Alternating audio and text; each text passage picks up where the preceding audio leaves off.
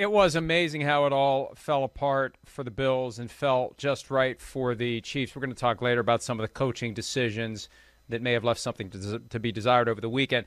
One of the images that burned in my brain, and I tweeted this half jokingly, it was after the Bills went ahead the first time in the final minute of the game, uh, or in the final two minutes of the game, rather. I, I he was so fired up and so animated I, I thought just let this guy play defense.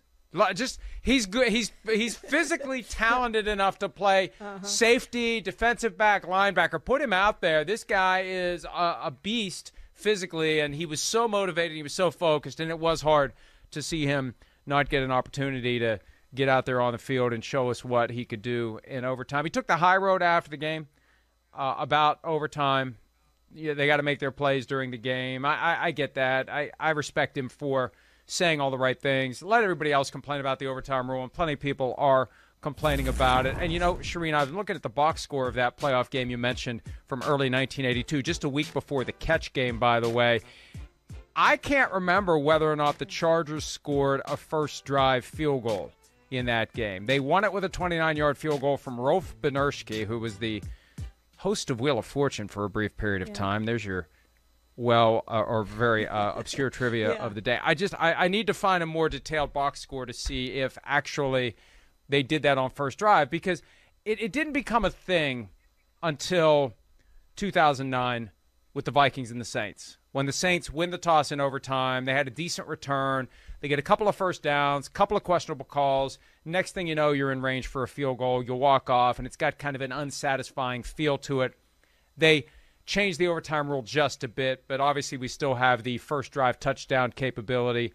And I think that if they never change it, well, let me rephrase that. If they don't change it after last night, they never will change it. Because I think last night, we've seen it happen four or five times since the rule changed, where you had a walk-off touchdown in overtime of a playoff game. Last night, though, I think it reached a critical mass of dissatisfaction and a sense of unfairness because I think whoever wins that toss is scoring a touchdown to win the game. Whichever team gets the ball in that overtime session is scoring the touchdown. So they need to have a way that's more fair, that takes the coin toss out of it, that either brings strategy into it or gives both teams an opportunity to possess the ball. I just don't know what the right solution is. All I know is what they're doing now created a result last night that I think left a lot of people wanting more. Oh, no question about it. And guess what? Guess the team that proposed a rule change in 2019 to allow in the postseason for both teams to get the ball. That would be the Kansas City Chiefs. And the Bills were one of the teams that said no to that. And that kept getting tabled and tabled and tabled. And you actually got Clark Hunt to, to say, hey, I think we can get this passed, but it's going to be for the postseason only. I think people would be happy with that. Some change to the rule for the postseason. I'm fine with the regular season with the way it is. I get it, especially now that it's 17 games. I have no problem with with keeping po- keeping overtime the same in the regular season, but in the postseason it needs to change. Both teams need to be at, at minimum be guaranteed a possession if you're going to keep it somewhat similar. But I even like the college rule better, and and I know MDS has proposed and the Ravens did the the spot and choose a proposal that way any way, some way to make it better than what we saw that left us wanting more. And I remember when Tom Brady took the Patriots down and, and scored, I was left wanting to see Patrick Mahomes get an opportunity then.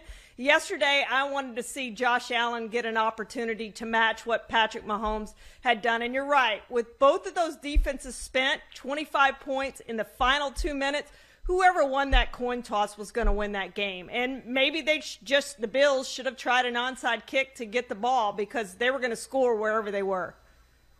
I had forgotten that we spoke to Clark Hunt at the league meetings, the last league meetings before the world turned upside down three years ago, where he actually got access to people and had a chance to discuss these things. And he did have some optimism that they would be able to change the overtime rule for the postseason. And that's uncharacteristic because a lot of times what happens a team gets burned by a bad rule and they are not inclined to lobby against that rule because there's this loose sense next time around we're going to benefit. And next time around, the Chiefs benefited. Maybe that's why Josh Allen isn't complaining. Next time around, maybe the Bills benefit. the Packers have been stung by it twice, back to back years 2014 NFC Championship in Seattle, 2015 divisional round game in Arizona. Packers have been st- t- stung twice. Patriots have had it fall to their advantage twice. Maybe the Bills next time around will get it uh, to work for them, assuming it's not changed. And I, I, really do think there is some momentum to get it changed, Charean. I, I've heard the argument in the past that the rule needs to be the same in overtime for the regular season and the postseason. Simms and I talked about this earlier today. That's nonsensical because you have ties potentially in the right. regular season, not in the postseason. So it's already different. It's already different. Yeah. So it's fine to have a different procedure in the regular season and in the postseason because in the postseason it's win or go home. In the postseason, you need to have somebody who emerges as the victor. There's a lot of different ways it could go. I've got my my two point conversion penalty shot type idea where you go back and forth, and I think the XFL may be using that again. I know they used it their last time around, but they never actually used it in a game. But that was part of their rule procedures. The spot and choose that the Ravens proposed that MDS, as you mentioned, first thought of 20 years ago. But something to be fair, not not more fair, just fair. I want fair because right now it's unfair. I just want something that is fair and equitable for both teams so the better team has a chance to win, not the team that just happens to get the coin toss to go their way.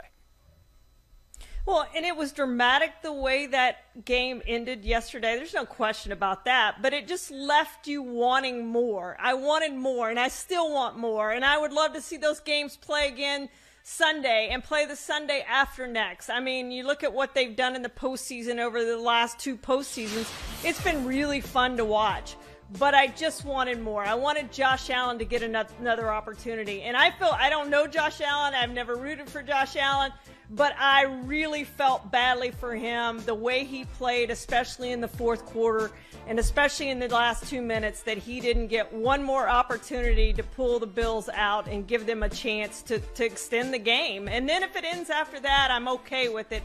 He would have gotten his opportunity, but I just was left wanting more. Hi, I'm Mike Tirico, and thanks for watching. Make sure to hit subscribe for the latest news and highlights from NBC Sports.